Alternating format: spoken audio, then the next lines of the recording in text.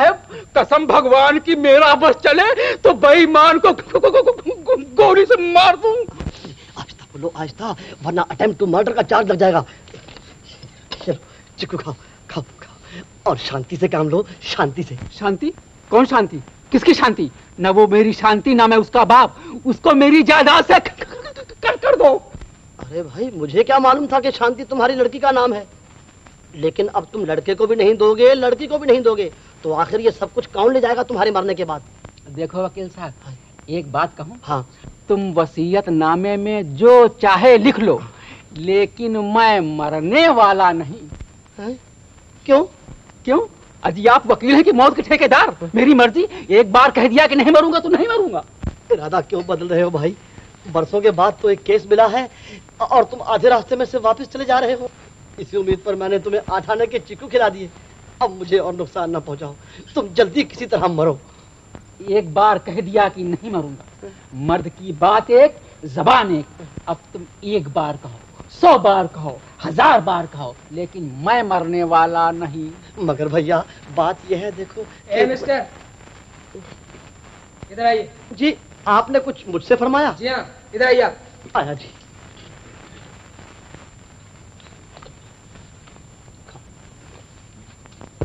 फरमाइए। आप एक मरीज़ के साथ ऐसी बातें करते हैं डॉक्टर की मेहनत में पानी फेरना चाहते हैं। कौन है आप? आप कौन हैं? मैं हॉस्पिटल का assistant incharge doctor Anand. Oh doctor Anand बड़ी खुशी हुई आपसे मिलकर फरमाइए। लेकिन आप हैं कौन? जी मैं मैं S Prakash B L L B हूँ। आप रत्ना देवी को जानते हैं मैं उन्हीं का पत्नी हूँ। नहीं नहीं नहीं मैं उनकी ननद का पति हूँ। तो आप एक वकील होते हुए खिलाफ कानून हरकत करते हैं?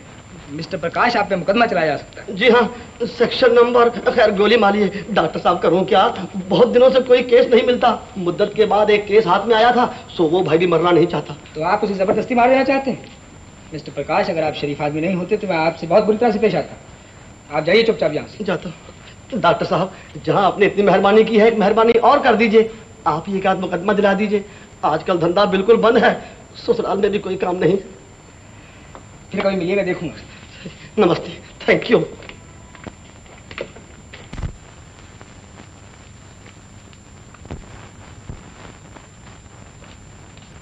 हेलो डॉक्टर आपको फिर यहाँ देखकर बहुत खुशी हुई। मुझे भी आप लोगों में वापस आकर बड़ी खुशी हो रही कितने दिन बाहर रहे? है बस यही कुछ चार साल। और सुनाइए कहाँ कहाँ घूम आए?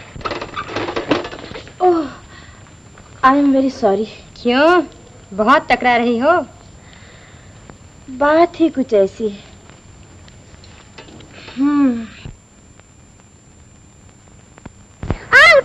नट आउट नट आउट मामा चंदू आउट हुआ कि नहीं? उसके पैर में बॉल लगी। मैंने देखा नहीं राजू। क्यों नहीं देखा माँ? चल तुम चंदू की जगह पे खड़ी रहो फिर, बताना।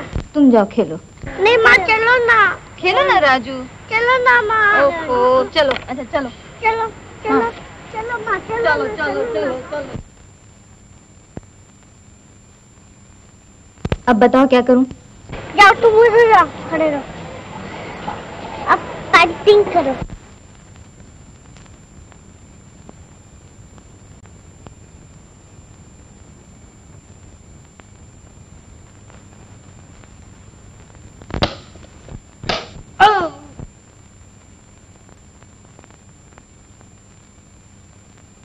Well played well played Ratna well played अरे कोई बात नहीं जो मेरा सर टूट गया बट वेल प्लेड अरे अरे अरे भाई शर्माती क्यों हो? खेलो ना। अरे भाई हेल्थ के लिए तो खेल कूद बहुत अच्छी चीज़ है। देखो इसमें कोई कानूनी रुकावट भी नहीं है। मैं वकील होकर खेलता हूँ। उठाओ उठाओ। लेकिन हाँ मैं जो कहता हूँ चलो hurry up hurry up. Come on come on take it take it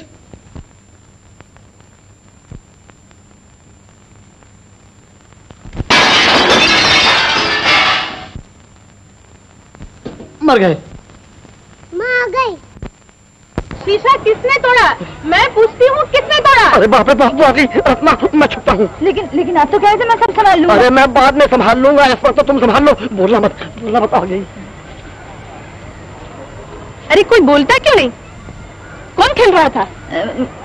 मैं खेल रही थी। तुम्हारी उम्र गेंद खेलने की है?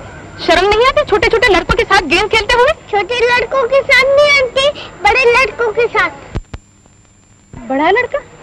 कौन बड़ा लड़का? फूफा जी फूफा जी कहा है वो? सामने क्यों नहीं आते? अरे सामने तो हूँ। तुम्हें कई बार कहा है कि अपनी आँखों का टेस्ट कराओ लेकिन तुम अपनी तंदुरुस्ती का बिल्कुल ख्याल नहीं करती। मैं जरा अपनी हेल्थ बनाने के लिए क्रिकेट खेल रहा था। आओ तुम भी आओ। ये ये खेल कुछ तुम्ही को मुबारक हो। सिंह कटवा के बछड़ों में शामिल होते हो। ये बूढ़े चोचले और किसी को दिखाना। अरे क्यों झगड़ रहे हो तुम लोग? काय का झगड़ा है? देखो ना माँ ये लोग कितने बड़े होके गेंद खेल रहे हैं शीशा तोड़ दिया क्या हुआ? बच्चे हैं खेलने दो। जाओ राजू जाओ खेलो बेटा। दादी तुम भी चलो ना। अरे मैं क्या खेलूँगी? नहीं बाबा तुम जाओ। चलो ना। अच्छा भाई चलो। बड़ा शैतान लड़का है।